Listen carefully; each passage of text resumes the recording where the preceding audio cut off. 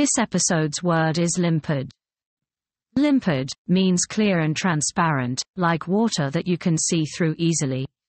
For example, on a sunny day, the lake was limpid, and you could see all the way to the bottom. Let's hear an interesting story to clear the meaning of the word. Once upon a time, in ancient Greece, there was a beautiful and limpid stream that flowed through the countryside. The water in the stream was so clear and pure that you could see all the way to the bottom.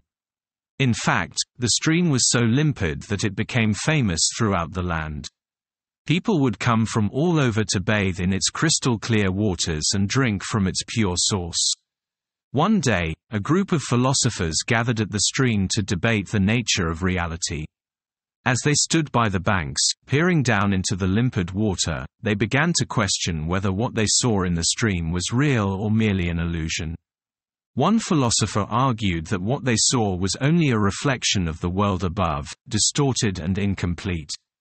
Another argued that the stream itself was an illusion, a mere figment of the collective imagination.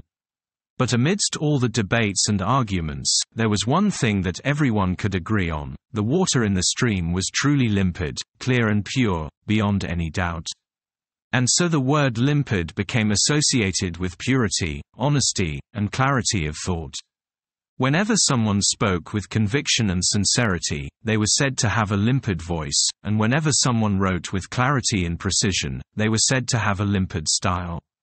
In short, the word limpid came to represent all that was pure and transparent in the world, a shining beacon of honesty and truth.